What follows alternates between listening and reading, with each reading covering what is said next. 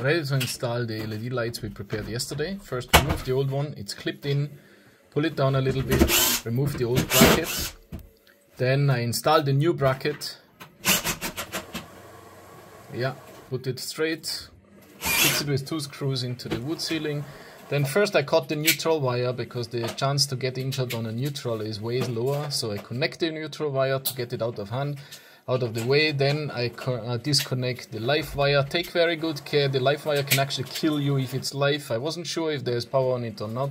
I was too lazy to disconnect the breaker. Check light, yes, it was switched off, so the light is working, that's good. Install the light onto the bracket and then first light is installed, going on to the next one. That is very fast lap, same thing as the first one.